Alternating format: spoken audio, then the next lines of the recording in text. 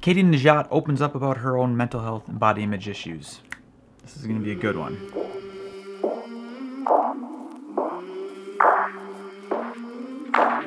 A few years ago, I started seeing posts from elite pole vaulters talking about the I Am Enough challenge. Body image is something that I have really struggled with. I'll link I've it never like, been. Up here, someplace where it pops out, and you can check it out. And I'll also put it in the description below so you can see that too. It started by Canadian Olympic pole vaulter Kelsie Ahbe, and the idea was to challenge the thoughts in your head that are saying you're not good enough or I am not enough. I was blown away by the message, and I was excited that they had the courage to have this conversation. So when I thought I was going to make podcasts like more podcasts, one of the first people I reached out to was Katie Nageotte. Would you be comfortable to continue that conversation in a long form podcast with me? And she jumped at the opportunity. She says the conversation is so important to keep going that she would she would be honored. So that's what this podcast is about. It's about Katie's past and history with her own body image issues and and how it led down a negative path. I won't tell you exactly the podcast. Just listen to it. It's great. I have to do a commercial, just one though. This podcast is brought to you by the Pole Vault Toolbox, a book I wrote to help you pole vault and help raise money so I can buy poles for pole vault programs all across the world. So if you like my work, you are gonna love this book. So head over to team-hoot.com and get yourself a copy and let me know what you think. So without further ado, here's the podcast with Miss Katie Nageotte. All right, we're here with Katie Nageotte. Yes. I always say your name goofy ways in the vlog though. I think you, it's funny. it's hilarious. Nagati is my favorite one I've come up with. Actually, Naghetto is my personal favorite. the ghetto. I might have to steal that one. Uh, I'm bummed that one didn't even cross my mind. Honestly, for me, when someone tries to pronounce my name and Yeah. butchers it, but they give it a shot, I'm actually flattered because I know what it's like to try and pronounce someone's Yeah. name and, and butcher it. So I don't I don't get offended when people don't know my last name because I get it. Oh man, I'd write those down and just start collecting weird names.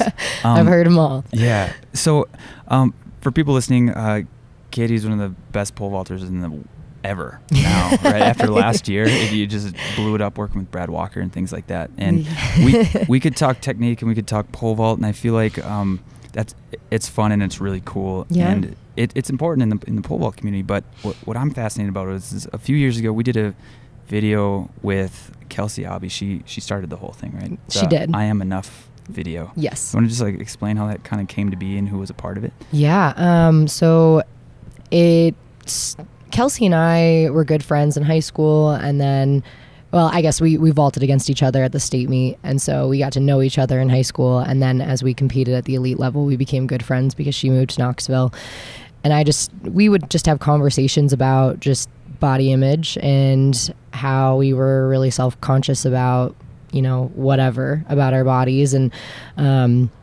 and so I think that just like hearing each other's stories of like just the struggles that we kind of went through with that like and, and I I'm not going to sit here and tell her stories but like for me it just you know I my body type is I'm very strong in my upper body and I don't really have that like hourglass waist that society says is like cute and like this long lean torso. So when I'm in a sports bra if I'm not in like peak physical condition i feel like i don't i don't look very flattering in it but like you know as as an athlete you don't want to like put that out there for people to hear but it was something that i really struggled with and i think i when i was down in knoxville i just struggled with that immensely and i was more focused on how i looked than how i competed because i thought if i looked a certain way results would come from it um, rather than fueling myself to perform a certain way.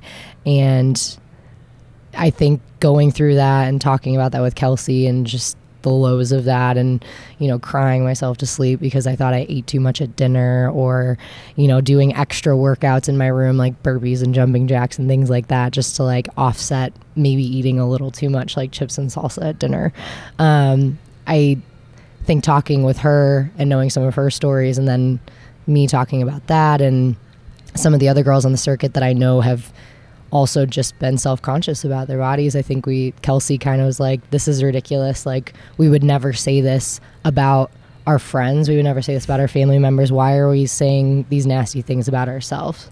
And I was like, that's a really good point. And so she came up with the I am enough challenge because, you know, you're worth more than what your body looks like. And I am enough because I'm smart and I'm, you know, I'm strong and I have a purpose and things like that. So I thought it was brilliant and I'm so happy that she did. And Yeah. yeah, a So- lot of the girls jumped on. Yeah. What? What? So what was the challenge itself? Like, what? What should you asking people to do? Um, I think we were just kind of, I guess, post on social media just to make it more just out there. I think girls see us as elites and think like, oh, they just have great bodies. That's what I.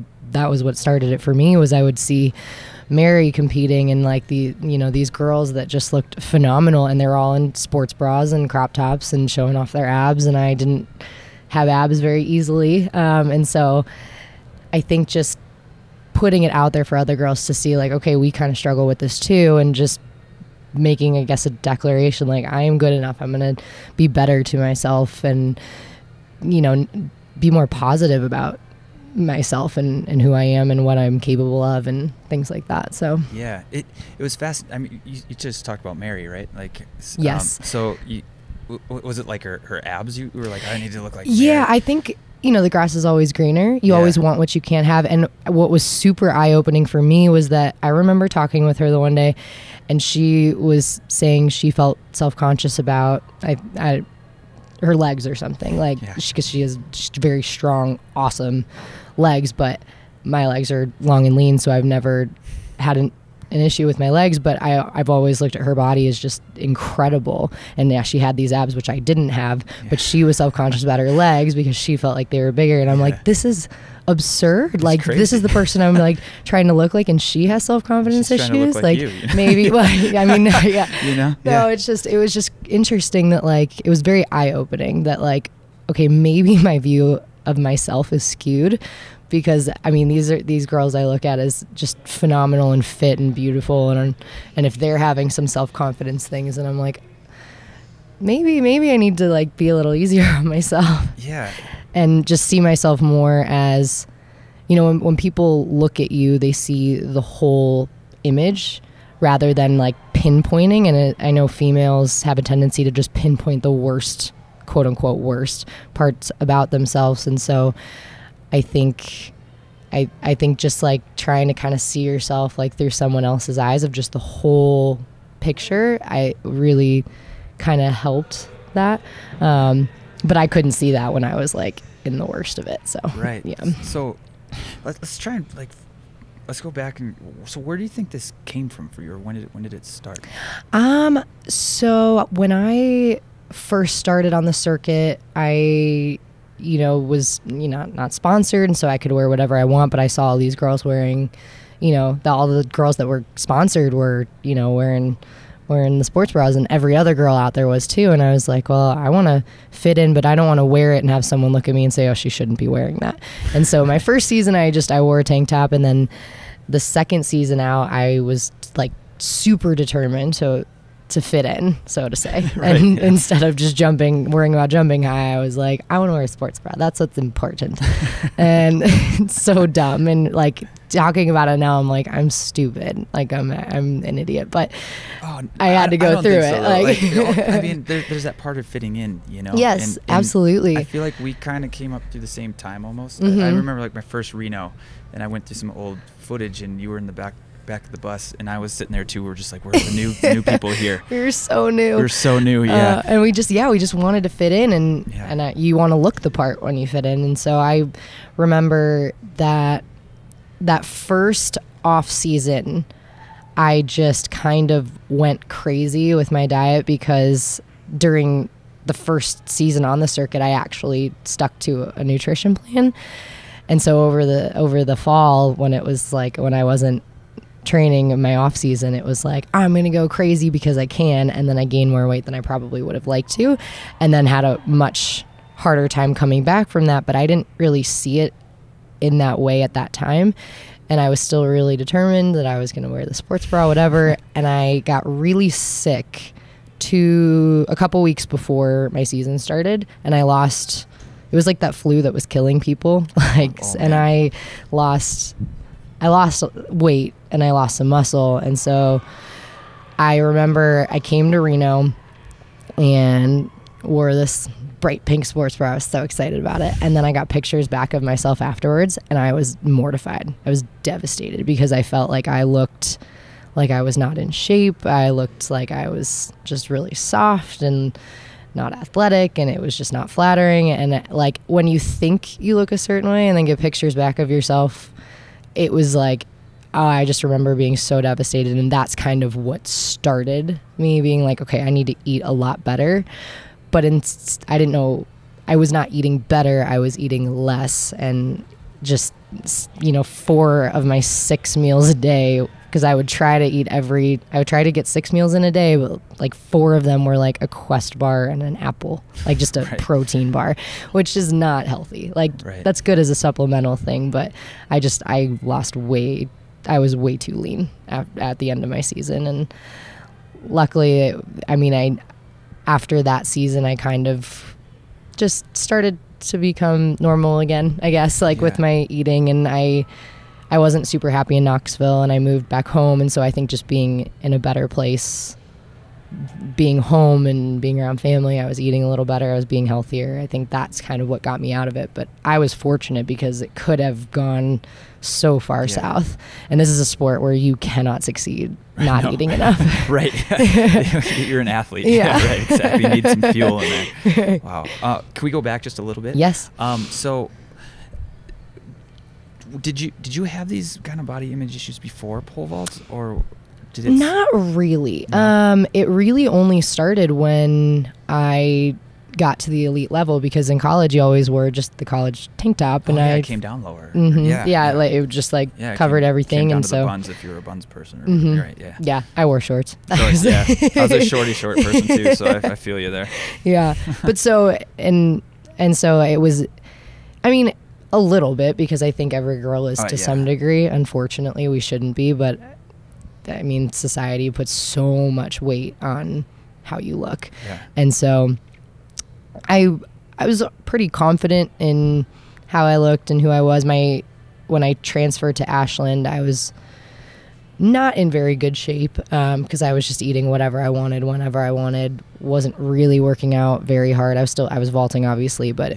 I wasn't s- as serious about it. And then my senior year is when I realized I could have success because I had gone through this mental block and I had finally gotten out of it. And um, and so I think I knew that from a nutrition standpoint, it was important to know just what to eat and how to eat. So I got a very basic nutrition plan, and and was in fine shape. I was in good. After that, it was fine. But it, yeah, it was, it was after I would say that that second year on the circuit that just like was the worst of it. Dumped so gas on. oh, on- it, it was, yeah. Jeez. It's not fun. I mean, you're just sitting there telling yourself you're like worthless because you don't, you know, you ate too much or whatever. Yeah. Uh, like it's just, and I, these are things that I would never say to even someone I didn't like. Like, but I was just so hard on myself, and you just, you can't. It's really hard to to get out of that. Yeah, I was gonna say I, I like I have a history with mental health uh, on the Mhm. depression side, but the, the body image issue, like I, I haven't experienced that at all. So Yeah. what what other kinds of things are going on through your? Does, does it affect like work or just every time you eat or is yeah, it it's. showers? I or- would. I every time I was just constantly fixated on food. Okay. I was, I mean, I think I was sl- like not extremely anorexic, but to some degree I was because I was, I was counting calories in a crazy obsessive way, and I would try to not get eat more than 300 calories in a meal, and if I did, then I would cry. Um, and it was just, I was talking about food and like all the time, like I was talking about my diet and nutrition and whatever else because I was just always fixated on like what I was going to eat next and how I was going to control that. And so it did affect me and I would come to practice. I mean, I, my energy levels were just terrible. Yeah. I would take one or two jumps in warm-ups. I would take my I would jump my opening bar and then go up to like a PR because I really didn't have any energy left. And s- obviously, that's not how you can get anything really done in this sport. Um, but yeah, it's, I mean, it's, I, re- I remember like the worst it ever got for me was I was, we had a meet. And like after a meet, you you work out so hard during a competition because it lasts forever. So emotionally, like when you're that on, you're gonna be burning calories Yeah. and. I mean, you're just jumping so many times, like because you take a bunch of, sh- you do your whole warm up, you do your short approach jumps, you do your full approach jumps, then you're competing, and it's, it's just a whole thing. Like, so you should be able to eat whatever you want after a competition, and I do now. Like, but at the time, we we after that competition, we went out to a Mexican restaurant. So you know they had the chips, the guac, the salsa, the queso, whatever, and I and the meals are massive, and I I remember I ate way more than I thought I should because I also just had impulse control. Like it was if food was in front of me, like I just I just would just eat as much of it as I possibly could. Like I could not stop. And and so then I remember driving home and I was crying and crying and I got home and I like tried to like make myself get sick and I couldn't do it because I probably didn't eat enough for one and I just Yeah. like can't force myself to throw up. I've never been able to do that. I, that was the only time I've ever tried. But it's like I knew that you know, I'm sitting there like sobbing on my bathroom floor, like just like knowing how bad that was and knowing that like bulimia ruins careers.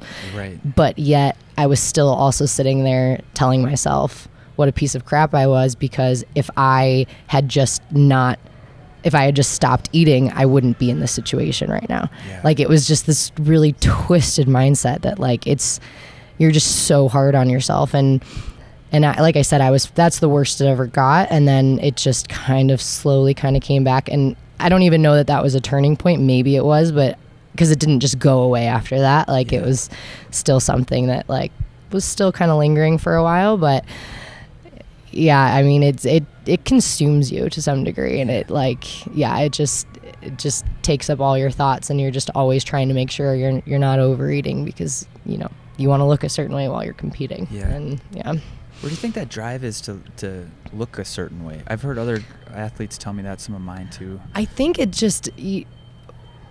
I, I. I guess I don't question. know, but like, I think we just we we don't want someone to look at us and say, "Oh, they look terrible." You know, no one wants anyone to look at them and be like, "Ew," like you know. Right. And so, and when you're in a sports bra, there is very little to the imagination. It's just all out there, and Yeah. and I've heard, and I mean, I've heard people and guys and whoever else be like, "Oh, she really should." Afford not to me not Yeah. about me but just about other people like oh she she could afford to lose a couple pounds and i'm like i never want someone to, to say that to me Yeah. or about me um, and i felt like if i was talking about it if i said i had an issue with this part of my body then i was addressing it and no one could use it against me and so like if if i said oh my stomach was a little flabby or whatever i had some love handles then i know about it you can't tell me about it because like i already know Yeah. but then it just became obsessive like i'm talking about my body and everyone's like you're crazy like but i just i couldn't i couldn't get out of that i couldn't see yeah. past that Sounds you like know you do now though. yes it's Yeah. i mean hindsight's 2020 Oh, but totally. Yeah.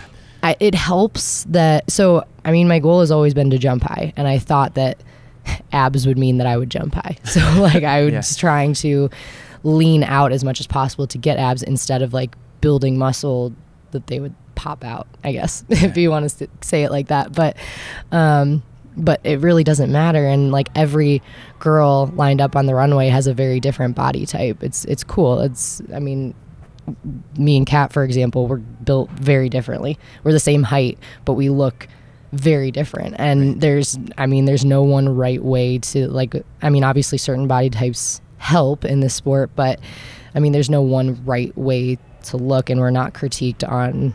We're not given scores based on how we look. So, yeah, it's just. I, I just lost my train of thought a little bit, but like it's, um, but I think once I started jumping high, like once I, the next year after I started getting out of it a little bit, I, I jumped 15 one. I broke that 15 foot barrier. And I think that to me was like, you need to get over this because it's all about jumping high. And I think I just wanted to prove to people that I could jump high.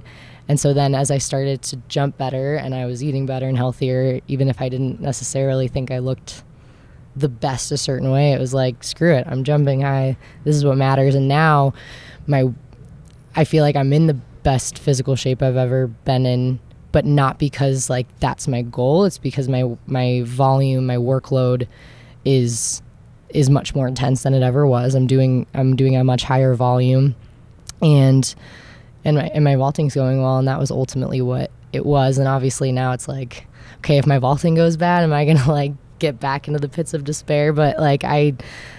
I feel like I've come out of that and can kind of navigate that now. Yeah. And so, yeah.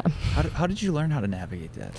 It just took time. I think just realizing I'm I was worth more than just what my my body looked like and Like, just Did, did you talk to anybody, or just kind of it just one day? No, I- some 'cause perspective changed, or was it people would- talking to other athletes or something like that? I think talking to athletes helped a lot and and just talking I mean, I have an awesome family and so just kind of realizing like I'm I'm worth something to them more than my vaulting or what I look like or whatever.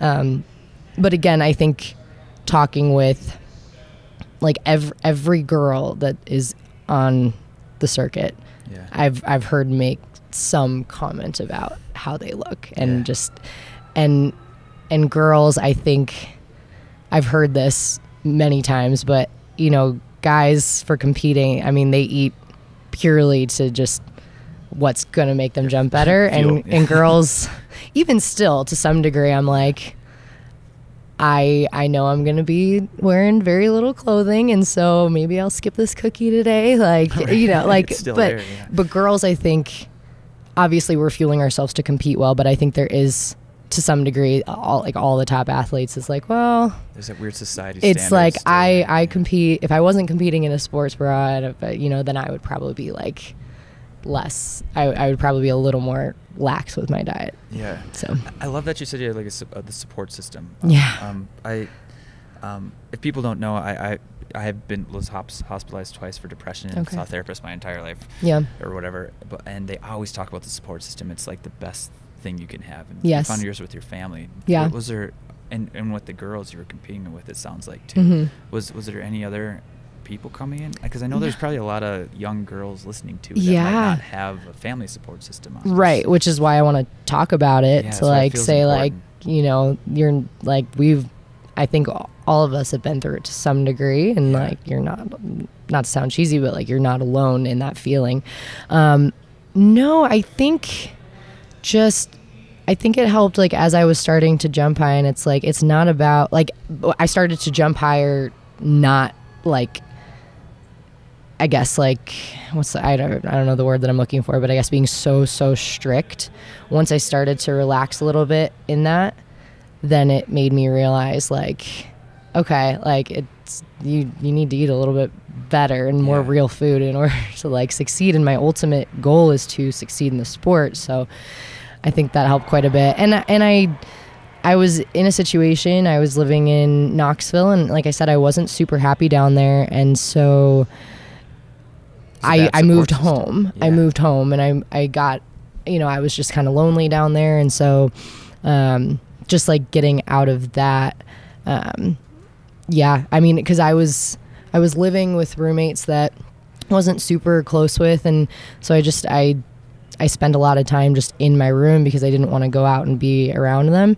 Um, and so I just would start eating bars in my room. And I think that's kind of what trickled into that. And so then just being in this dark hole in my room, like alone. Yeah. And then I didn't want to come out to cook. And so I would just like be like, oh, there's a bar here. I'll just eat that. And like, so I think just getting out of that situation and just recognizing maybe this place isn't the best for me Yeah. right now and maybe it's a little toxic like just kind of recognizing okay like i need to be elsewhere. How, so did, how did you recognize that? Just just i could i could just feel how unhappy i was. And my vaulting was was starting to like i was doing my vaulting was suffering because i i ended up going back home after like basically halfway through the indoor season because i had no heighted a couple times in a row. And the times that i did jump well it was terrible. And it started to feel just like my mental block did when i was in college and i could recognize like okay this is this whole energy is like affecting my jumping i need to get out Yeah. and so that's i think that was for me like when i realized like i need a new situation because when i was at ashland or when i was i went to the university of dayton first had those mental blocks when i switched to a whole new situation that's when everything started to come back up again. Yeah. So how did, how did that mental block kind of take place? I'm I'm, Yeah. I'm, I'm interested because um, you you had an awareness from a previous experience that Yes. allowed you to get out of the second one, and without having that, like, Yeah. it could've been Um, a lot I was pretty fortunate in that circumstances forced me to move and I just saw the results of that. So I I went to Dayton and I I had a coach that was very knowledgeable, but he he was changing a lot really fast and I was a very like emotional like like I just emotionally unstable, like Walter, just like any little thing would throw me off. And so he was changing a lot, and I was in a new,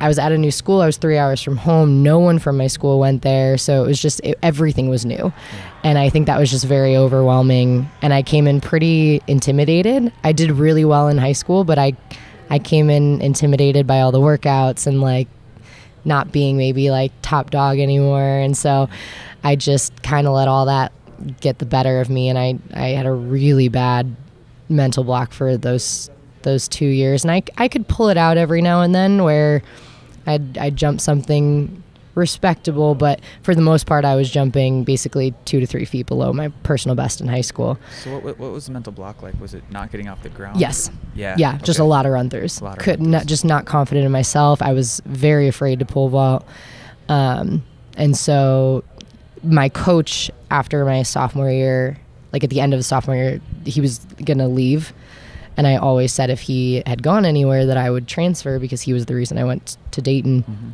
and so when he left, I transferred to Ashland, and and just getting in that new situation, it was like this is what I needed. It took probably the full two years for it to really, you know, come, you know, come full circle, I guess, and for me to to succeed. But it was like, it was. I just realized that that was that was what needed to change was Yeah. whole new situation and obviously you can't always get that but i think just i was too stubborn to have made made that move myself so i was very fortunate that the circumstances kind of threw me that way For- because forced your hand a little bit. yeah, I, because I think I yes, I think I would have been stuck at Dayton and never jumped higher than what I did in high school, and I wouldn't be sitting here talking to you. So, I that's what I try to tell athletes now. If you're going through a, a mental block, or if you're going through a situation where you're just in a bad place, like figure out what it is. Like figure out what's going wrong. Don't beat a dead horse with a stick. Try something new. Try whatever. Talk to your coach. Talk to whoever. And if it's just not working, like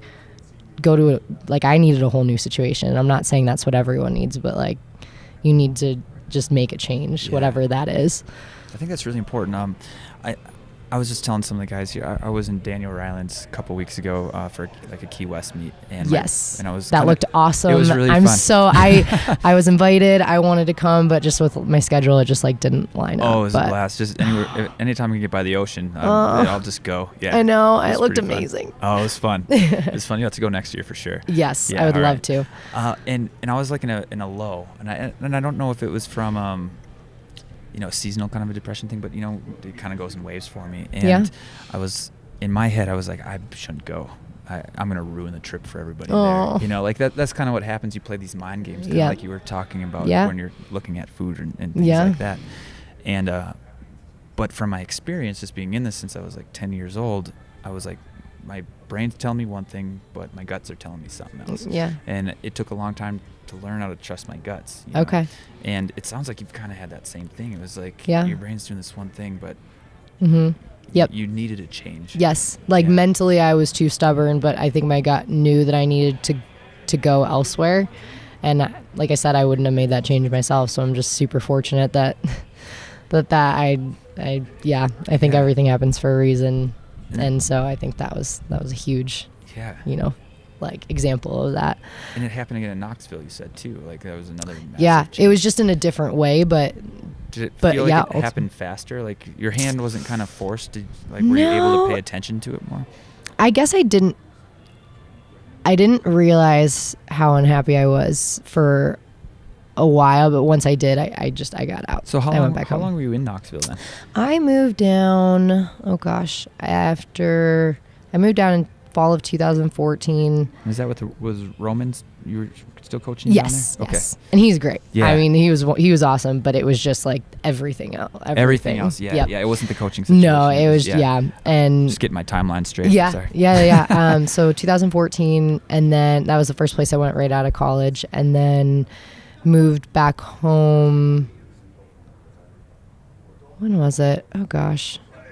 Oh, no, no, no. It was fall of 2013. Sorry. Okay. It was the fall of 2013, and I basically came back home the at, dur- halfway through the indoor season of 2015. Okay. So like a little less than a year and a half, like a f- uh, over a year I was there, um, and so it just for the first bit it was fine, um, and then it just kind of slowly started to go downwards, and then it was like, like it was just like, and it just exploded at the bottom. But Right.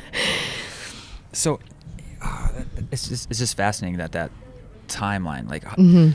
and how that happened. yeah, So, do you feel like it's like the excitement kind of wore off, and then like things started to settle, and then Yes. it's like, oh, this is like what's really going on here. partially um i'm i'm definitely a person that like gets excited by like the new fun flashy things Yeah. and so once that wears off then i'm like okay what's next Yeah. like you know and so i think that was a part of it i think i came in again a little intimidated kind of like i did in college um, but more so i just don't think i was quite ready to be all in and what that took and so it was just I'm I tend to be a pretty lazy person by nature. And so like getting up and going to practice like it was my job was like this weird concept. Like it felt Yeah. like it started to feel like work. Not I mean I still loved vaulting but like everything else that came with it it was like It does tweak it. it's it, it's a little different yeah Yeah. especially when you know you're not at that time i was not making money doing it so it's you know it's it's You have to it's, start asking why. You're you know, driving the those struggle bus, days. Yeah, the struggle bus. Yeah.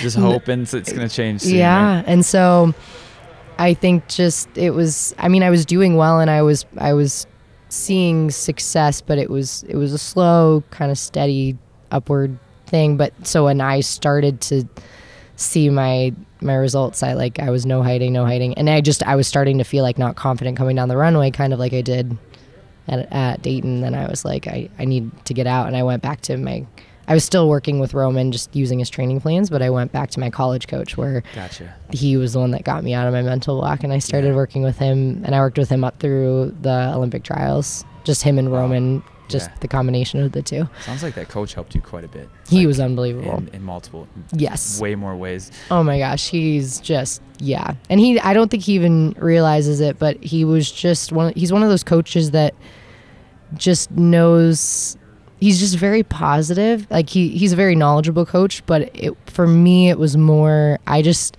I needed someone to say like you're awesome. I believe in you. Like and and not that the other coach didn't do that, but it was just a, when you're getting a lot of changes and you're not competing to see the results of those changes. Like it just starts to it just starts to weigh on you. And like Yeah. every time you get off the pit, they're critiquing something else. And I get that. That's their job.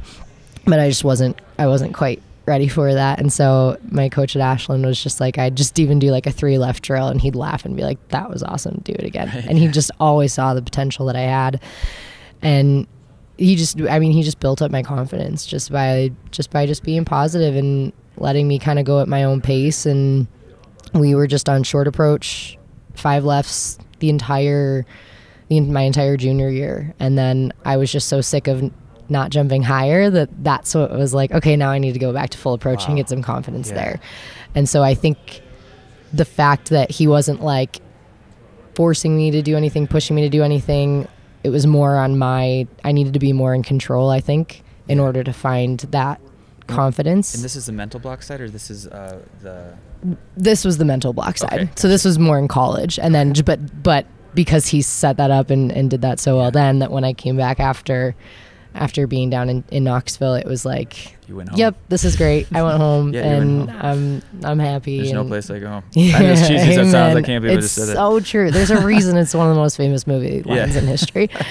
Uh, Oh, that's yeah. so great. yeah. I, I like that support system again. It just sounds like you had it in all sorts of different places. yeah i know people i don't aren't i'm i know that i'm very fortunate and i don't I, I like to think that i don't take it for granted i probably do sometimes but i just yeah, I've been I've been very blessed with an awesome support system. So, did you have that right now still?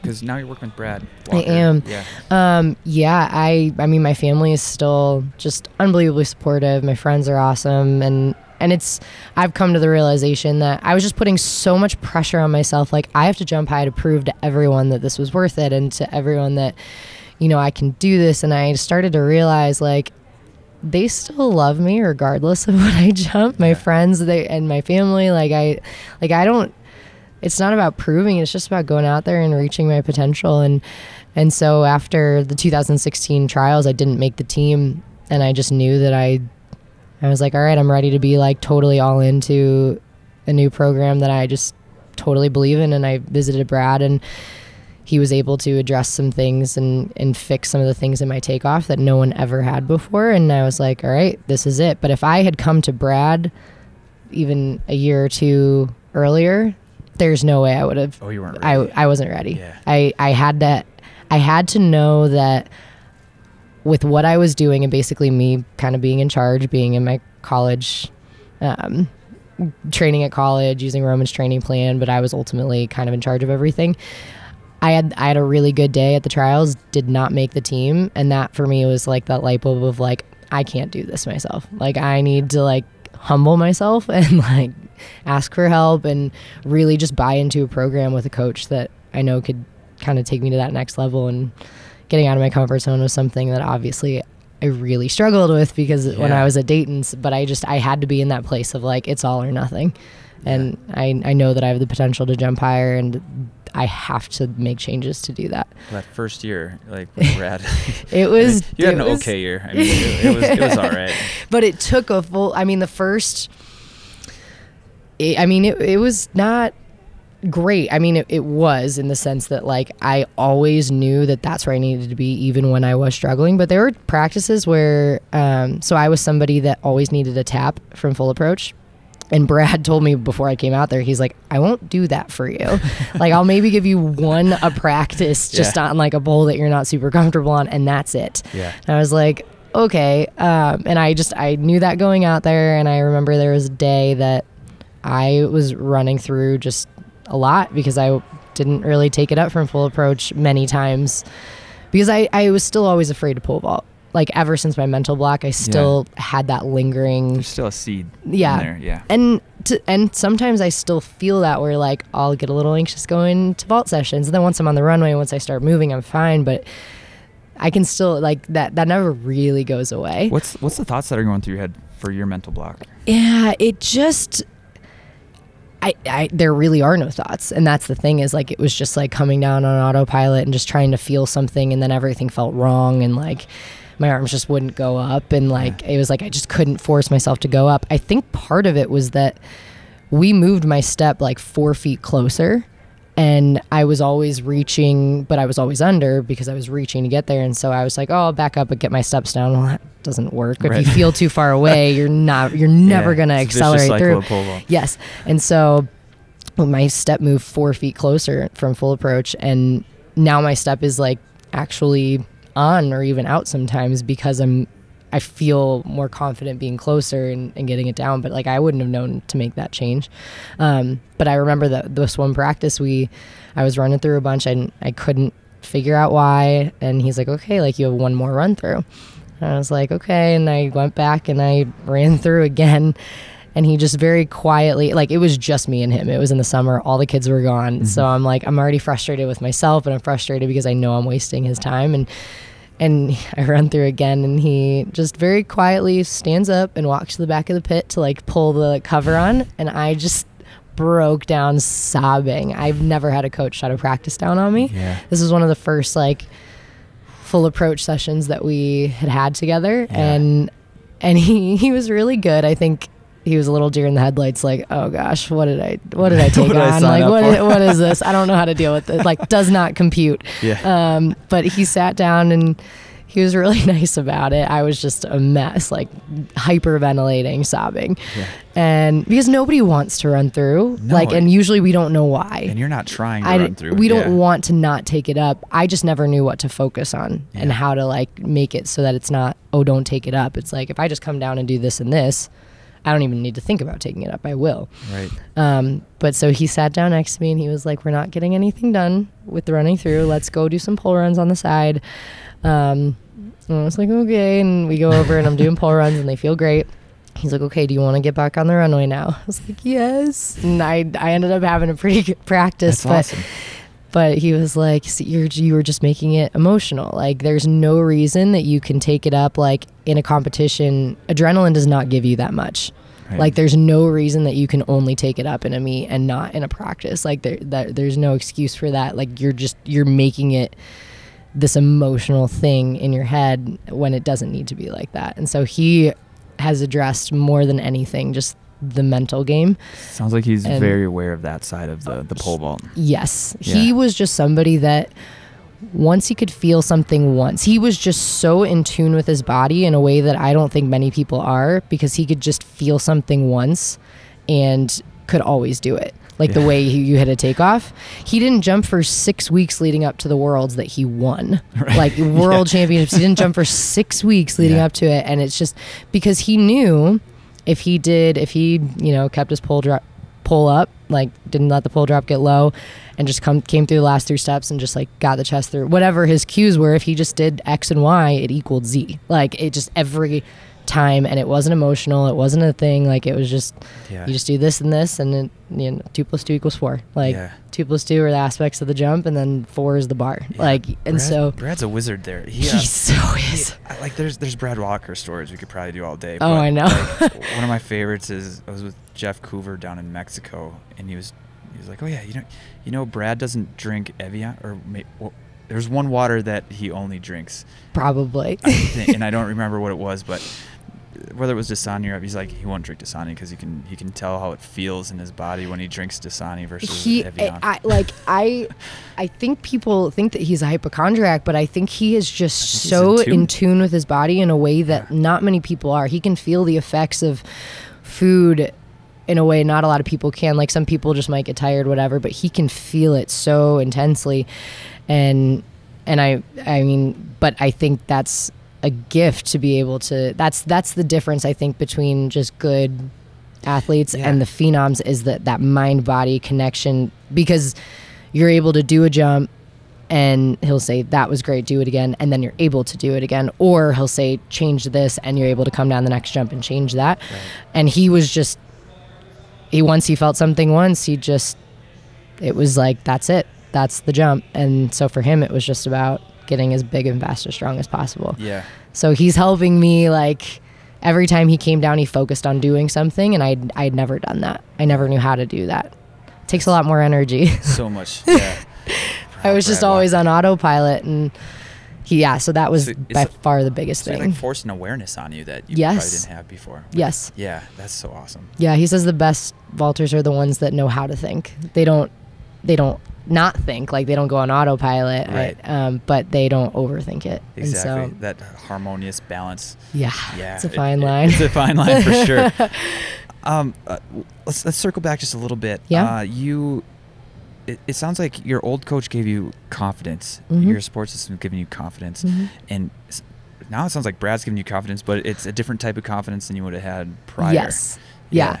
That the the confidence that I had in college, I don't want to call it a, a fake confidence, but it was just it wasn't there it's a totally different sense of confidence knowing that I'm going to come in and jump high because I'm executing this and this and this. Like I have a I have a set game plan. Whereas before it was like I'm gonna jump high because I feel really good, and like you know, like you, that only goes so far. Yeah. Like I I can come down because I have adrenaline. Like that only that only gets you so far. And and yeah, being able to come down and hit a takeoff from full approach without a tap, no matter how I'm feeling, that has given me a confidence coming down the runway in a competition like unlike anything I've ever felt and it's made it more consistent and it's made it just just easier. It's Yeah. I mean it's it's more work in that by the end of a session the difference that I would feel and how tired I was Yeah. was incredible, but I'm also getting so much more out of my sessions because each jump I'm looking to do something specific. So if I do it, then I'm like, sweet, let's do it again. If I don't do it, I'm like, okay, let's get back on the runway and try it again. Whereas before it was like, I might take four or five jumps. I'm not feeling great anymore, so we're done for the day. Like, and so now I'm taking, you know, four times more jumps, Yeah. And so it's But they're quality jumps. that yes, Yeah, and I, I see that a lot with college and high school kids. Is they put up a bar and they just try and clear the bar, but they don't know how to clear the bar. They're Right. What's going to get them to clear the bar? Yeah.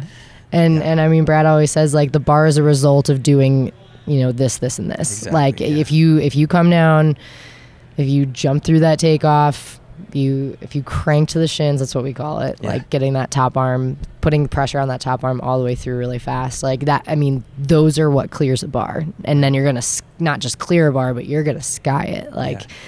so I'm just I'm fascinated by the confidence thing. So sorry to yeah. keep looping back. to no, not at all. Like it's It, it, it, it sounds like that's the common denominator between a lot of the things that you've gone through, like whether it's Mhm. the, the body image issues versus this confidence. Like I don't I don't look good in this Mhm. sports bra, as you said. yeah. um, and and that with coaches and, and your jumping and your environment all kind of helped with that. And Yes. then um, like the other side of it is like your confidence is just different now, you know. And and the the other thing I heard is at the Olympic trials that you made that decision like it's more important to jump high than how I look like you made this conscious Yeah. decision. It almost sounds like before that you were more worried about like how you look to other people versus how you look going over a bar. Yes.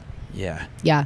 But I thought that I would look good going over the bar because I was Yeah. I like I, I thought the results would come from from looking a certain way and Abs. being being lean. Yes. Yeah. I mean I just I mean you associate that because you see all these girls with abs, but it's not because they're trying to get abs. They're not you know, we're not standing up on a stage like doing a physique competition, like trying Yeah. to like look a certain way. Like we are it's all function. And so but these girls have abs because of the hard work they're putting in and because of you know the lifting and whatnot and i just i didn't realize that i thought i could like eat myself into looking a certain way Yeah. rather than working into looking a certain way I think it's so powerful. You're you're talking about this first off, um, because we've I've gotten I get emails a lot from from kids and coaches and like on, on I forgot what state it was, but somewhere on the East Coast they were having kids write their weights on their shirts. They would put tape on their shirt and they would write Oy. their weights. Yeah, oi, exactly. Oy. So for Ugh. somebody who's been there, like yeah well i remember we had to like write our weight down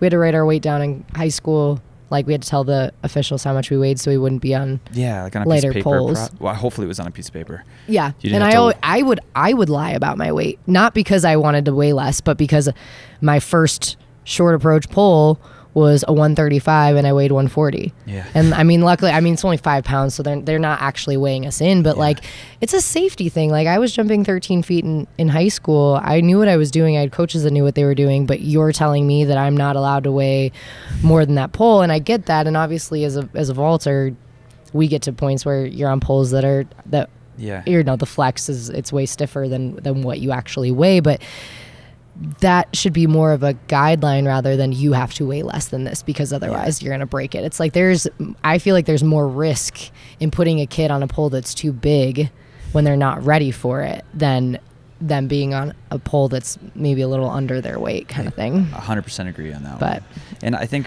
when once you get to the, I don't like to say that like I'm at a, a high level, but I, like I understand the pole vault more than a lot Yeah. of people, you know. And i would say that you're at a high oh, level oh, thank you. i'll say it But like when we get to this level, you know, like this higher level, when you look back down, you're like, oh my gosh, like all this stuff I thought I knew, it's it's not real. Yeah. Nope. it- like Nope. some of it is, but like it's all the ways that i used to think about pole vault just they're- nope they're I, just yeah, I had to delete the first two thirds of my pole vault Really? memory. It feels like. You know, some, I mean, there was some I stuff mean, you yeah. keep, but like the weight label thing's crazy. And oh my gosh yeah I like that you just said "oi" right away Oi. because like you went wrong. through that where you you would be bawling after you would eat you know a certain thing hmm and calories are you coming you, you had Yep. this thing in you and by putting s- uh, some tape on a kid's shirt and having them write Yeah. their weight on that feeds exactly what was yeah. hurting you at the time. and i feel like that in high school it's probably an issue for some guys too because a lot of them don't gain weight until college. Like a lot of them don't fill out. And so if they're you know as a guy i'm sure there's some some insecurities there. Not that it's i mean it's still relevant but i think it's more i guess prominent in in girls. But i mean i think with guys like if you're writing how much they weigh on their shirt and it's like lighter like if it Yeah, like you know the- they're then they're gonna be all embarrassed about that it's like it's not helping anyone like i don't think it makes it any safer like No. but that's i guess i don't know And like you said, it's it starts in your head, Mhm. you know. So Mhm. and it kills that confidence. Yes. like you said too. And you, you it, it sounds like every time you've had confidence, you've jumped well and, and yes high yes and that's but that's the thing is like and safe. it's Yeah. come from confidence for me has come from things not from how I look. It's from the you know the other things that actually hold some weight. Just Yeah. knowing that I'm a that I'm that I'm able to jump high. Like uh, that's what's important to me. Like Yeah. and whatever is important to you. Like it, like your school or whatever. Like your job. Like if you're good at your job. If you're good at you know classes. If you have a great friend base. Whatever. Like that. Those are the things that like hold the most weight, like not how you look. And Right. so, yeah. But I remember Kelsie had made the comment, and I know she's she said this very publicly before, um, but that when she was at the Olympics, she was more aware of where the cameras were and like flexing, like you know, like trying to like Yeah. look good. Rather, Wow. like she was more like she always knew where the cameras were. Yeah. And it's like that shouldn't like You're at that the shouldn't Olympics be and that's what yeah that's about? what Yeah. and I mean she killed it she she jumped so well but um but yeah like it's just it's something that we just yeah, Yeah, like and I think that's kind of again another thing that kind of started the I I am enough Yeah. So Oh, that's that's insane. It it's like that that awareness. Like, well, could she have jumped even higher if that wasn't weighing on her mind during? yeah I mean yeah right I don't you, I don't you know can't go yeah. back and figure that out, but right um, yeah, that that oh, man, just I didn't I didn't know that don't- story. That blows my mind. yeah I mean it's just something that like and if I mean Kelsie I'm sorry if that wasn't Oh no! something I was supposed got, to tell but I got another broadcast lined up with Kelsie later too. Perfect. So, So, I she'll should probably tell the same probably, story. yeah. Um, but yeah, I just remember her saying that, and I'm like, wow, like so I'm not the only one. Like, Did it make you feel better knowing you weren't the only one? Like, Oh, absolutely. Just talking about it with her definitely helped, and and again with with Mary and with you know all the girls that we've had conversations about this with. It's it's like okay, like I, they they look fantastic. I think they're amazing, and I don't look at them and think like oh they should they should really like I don't know like her. Don't Yeah. legs are too big. Like I would, I like that's just not even a thought because I just look at the whole image and I'm like, you're amazing, you're strong, and you're talented, and you're, you know, you're beautiful. Not that that that should hold weight, but you're beautiful Oh, because out, uh, though, you know, yes, yeah. but like you're beautiful because you're an awesome person, and your personality rocks, and you're just you just radiate like positivity and happiness. Right, Like, it's yeah. just you know But you do hear that negative side. Like even in college, you're like, oh, she's an 800 runner. You know, she just lost 10 pounds. And, yeah. you know, you hear that, and Yep. it, it's yeah, it, it's not healthy. No, it's, not healthy mentally for no. either side. You know. Nope.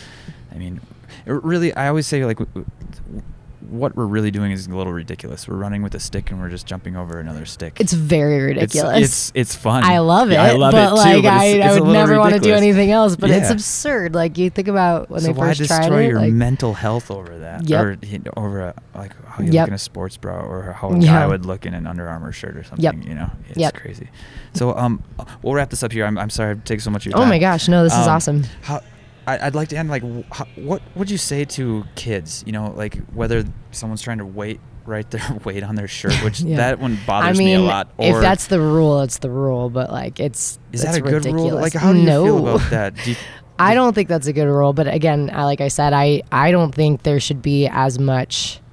I get that they need to enforce certain safety rules that are across the board, but at the same time, I do think there are a lot more knowledgeable coaches out there, and I I just I don't know. I think forcing a kid to be on a heavier pole just because they weigh a certain way, yeah. I I understand the logic behind it, but the execution is cost? just yes, like is is just a little off to me. yeah. Um, and not every state does that. no, know, I mean they didn't have me write it on, but I would just have to tell the official, so and then he would check my poles. right. So, Yeah. um, yeah. So if a kid's going through this, what what can they do? Like uh, I know we've talked about what what's helped you. Do, Yeah. Do you have girls talk to you about any of this stuff since you've little made some of those videos? Yeah, I think you just have to. I every day what I would try to do when I was kind of going through that phase is when I would go to bed at night, I kept a little journal, and I would write down three things that I was grateful for that day. Like I would just try to like just even if it was as simple as like I woke up. Like I'm here today. like I Was it- just you, you woke up with a win. I, I Yeah. woke up like that's that's starting the day but it just something different each day that like i was just happy for it could be something super small it could be something big that happened but just like even like i you know had a nice conversation with my mom like just and my mom's awesome kind of thing like Yeah. just something s- i think that i would notice a difference like writing those down and i would just go to bed like huh okay life's pretty good like you know like and Yeah. i think that things like that definitely help. But I, I mean, obviously, I I'm not a therapist, so I can't be here and sit here and be like, if you do this, this, this, you'll be oh, fine. Oh, like, right, But exactly. I think that helped a lot, and just talking to people, like, and for me, I could hear people telling me all the time, like, you're too lean, you need to eat more. But I I had to go through it myself Yeah. to get out of it. Like I was like, no, I'm fine. I'm eating six meals a day. Like I'm just I'm like I'm just taking this seriously. Like I I I never wanted my weight or my physique to be to blame for why I wasn't successful. And I think I just took that way too far. Um, but when people are trying to tell you things, like I know, like you half the time you don't want to hear it, but like they they are coming from a good place, and Right. usually they're more often right than not. Yeah. Um, I've kind of used those as fire alarms, like that. Yeah. In a, in a good way. If if you hear that and it hits something in you, you're like, Yes. that's maybe just something I should pay attention to. Maybe not believe it right away, but at least investigate it. Yep. Yep. And I was just I was just like, no, I'm not. Like this is just what it has to be in order for me to to do well. And but in retrospect at it's that like time, right? Ah shoot. If somebody said that to you now, would would you re- res- respond differently? If they told me I was like too skinny, Yeah. I mean, I don't think they would because I mean maybe they would, but I I feel like I'm starting to fill out with muscle more than I ever have. So I'm naturally longer and leaner and I get that. Um, but I think I'm filling out with muscle more and I I just think I look healthier. Like before Yeah. I looked emaciated. Like I was just like my cheeks were just like oh it was I mean I see pictures of it and I'm just like I I I seen pictures that come up on my Timehop where I'm like I thought I like had fat. Like where like what what is wrong with me? There was a picture of me like standing sideways there. I was like off to the side. They was, was one of the professional photographers took a picture of one of the the vaulters and I was like off to the side and I was literally like a board like I mean I'm like you when you I- it was like and how how did I think that that was Yeah. I'm like uh but I couldn't I couldn't It's see hard it. when you're in it. Yes. Yeah, it's it's so hard. when you're in it and you and you don't want to listen to anyone because you have your own logic and reasoning as to why Yeah. you're doing it and they don't they just don't get it. It's like, Yeah. well, I, yeah. Well- I, yeah, and I, I think that's that's pretty important though to like have that awareness you have now. Where Yeah. I, I guess I, I only asked because at that time you were like, yeah, nah, I'm just I'm just training really hard. This is what it, professional athletes Yep. do. I have to do this. I just have to be strict with my diet. This is what we have to sacrifice. Like So if somebody you trusted said something like that, now I get. yeah. Uh, would would you just maybe not believe them, but would you respond differently or? Yeah, I, I would maybe like you know, wonder like ask like, "Oh, why do you say that?" kind of thing. Depending but who it is, too, probably yeah. right. But I think the other thing is that I they could see also when I would eat at meals and like what I what I would Yeah. you know f- force my family to cook like no Yeah. carbs like no like just all protein like and so now I'm way more relaxed with my diet and I just try to keep it just real foods because I'm just I'm working so hard I just I need to eat like and, and Yeah. but I I'm trying to make it just like good good protein good carbs healthy fats. I eat a lot more fat in my diet and just fruits, vegetables, like just trying to get like real food. I, I worry way less about how much I'm eating, so I'm eating a lot more, and I think they see that. So, Yeah. but I think if someone were to address it, I, I think part of it is my body type, and Yeah. so I mean I, but I, you know, I'd probably just ask like, oh, why do you think that? And then I could tell them like, well, this is how much I'm eating. This Yeah. is what I'm lifting in the weight room. My numbers are higher than they've ever been. I'm vaulting higher than I've ever been. So you'd have that I'm conversation, more- yeah, instead and- of just cutting it off right yeah, away. Like, yeah, yeah. okay. And I, I think the results just kind of speak for themselves because I think if you're, if you're not fueling yourself properly, you're not going to jump very high for very long, Right. or ever. Like yeah, you, just can't. just deteriorate. Yes. Yeah. And so I think like I it's interesting Brad has wanted me to gain weight and and muscle mass. Um, and Is- I is just hard? can't. Like I'm and I'm eating more than I probably ever have. Not not like excessive, but just like eat. You know, I'm I'm eating till when I'm full at each meal, and then you know I I eat a you know every few hours, um, and I'm lifting more than I ever have in the weight room. My numbers are up, and I'm jumping better. I'm, I'm faster, and so he's. I mean, he he wants me to weigh more, but at the same time, he's like he doesn't have like you have to be this weight. But that's like, building he's the confidence too, yeah. right? It's like, so what I'm doing. I'm just like staying the same weight, Yeah. but like yeah. I mean, I, I always looked at training as just a big experiment, right? We're gonna try this, we're gonna try this, we're gonna try this, and as Yeah. long as you measure it and see if the numbers are going the way you want, Yeah. It sounds like they're going that way. Yeah. And I know there are some coaches that require their athletes to be like certain weights. And I'm like, well, first of all, if you're not a dietitian like that, you're not allowed to do that, first of all. My sister's a dietitian, so she's Yeah. big on like, you don't give meal plans to anyone that's illegal. Like, I'm like, I'm just repeating what you tell me. Yeah. Um, Hey, does, does she write your meal plans then? N- uh, no? no, but Okay. I I've talked with her about some stuff, and I I had met with a nutritionist before she before she was a registered dietitian, I Okay. believe. Um, and I had I had gotten a meal plan from him, and I think she was like.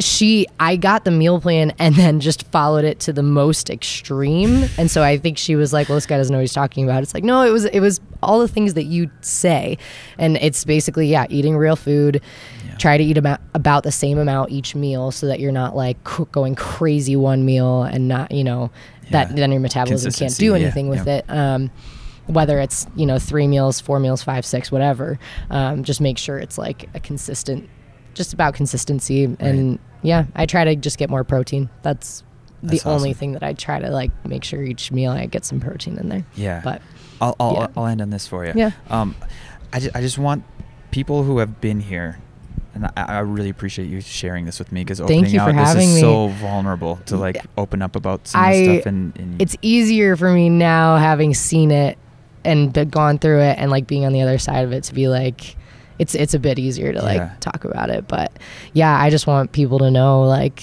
this i i'm very successful now thankfully um, but i went through a pretty rough little patch there and Yeah. So if you're going through that it doesn't mean that you won't be successful yeah. i think people just see the positives and so i just i want to be as real as possible Yeah, that's oh, then that's why I like talking. to you. 'Cause There's not a mask. You always just get exactly who you are all the time.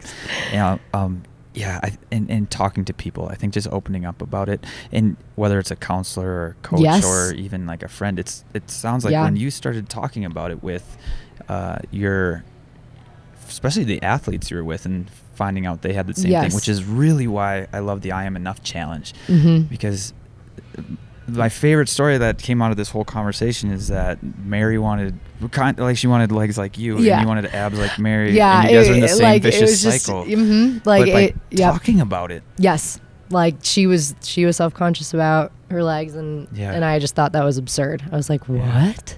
Mary self conscious about anything? She's perfect. But like what is perfect? Right, There is no perfect. there is no perfect, And that's yeah. what I'm like trying to kind of get across is like it it's it I get that it probably sounds a little hypocritical because now I'm competing in a sports bra and like Yeah. but but it's just the whole focus is is different. Like You're I'm I'm in the best shape of my life because of I'm I, yes because I like I'm not trying to look that way, Yeah. but that's how my body's responding, and I don't think there's any shame in in showing that off. I'm not trying to say like everyone should just cover up so that no one has to deal with body. Like I I, I respect whatever you want to do and how much ever you want to show off, and Yeah.